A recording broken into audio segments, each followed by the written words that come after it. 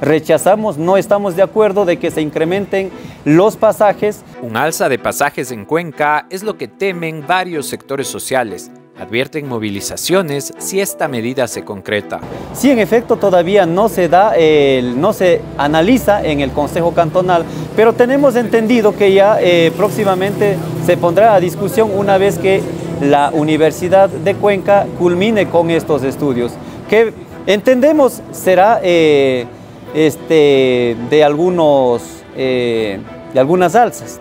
Entendemos que este estudio va a, señalar de que es necesario este, actualizar este, los precios de los, de los pasajes. La gran mayoría de la población estamos viviendo en una cuestión precaria, estamos viendo cómo nuestras familias día a día salen a otros países por falta de oportunidades, por falta de empleo, por la inseguridad que estamos viviendo.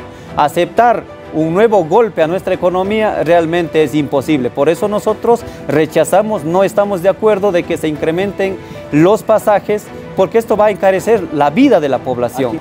Hacemos un llamado al señor alcalde, a los señores concejales de que sean sensibles con lo que estamos viviendo hoy los trabajadores y el pueblo. Más aún la gente que vive con menos de dos dólares al día, esa gente que le corren por las calles, que les requisan las cosas, esa gente que está en esta situación y que se ven obligados a salir a otros países, realmente no podemos vivir más en esta situación. El sector del transporte hemos escuchado que plantean mínimo que sea el incremento a 45 centavos, lo cual realmente es imposible eh, para nuestras economías. Entendemos sus necesidades, pero los trabajadores, el pueblo que no tiene empleo realmente no puede pagar esos costos. Entonces el municipio tiene que ser sensible. Los señores concejales, entendemos que hay algunas posiciones ya importantes de algunos concejales que han manifestado que no apoyarán esta medida y en efecto los trabajadores exigimos eso de los señores concejales y del alcalde que sean sensibles con el pueblo cuencano.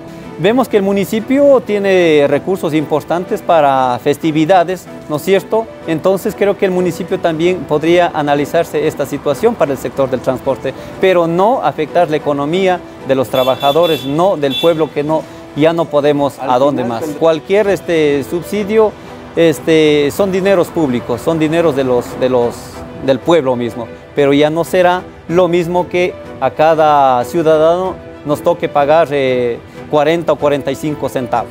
Eh, en el caso de que esto ocurra, pues nosotros estaremos eh, expresándonos como siempre nuestra, nuestra protesta en las calles, pero antes de eso, eh, cuando se va a discutir en el Consejo Cantonal, estaremos solicitando el uso de la silla vacía para exponer ahí nuestra posición. ¿No descartan movilizaciones en contra de esto?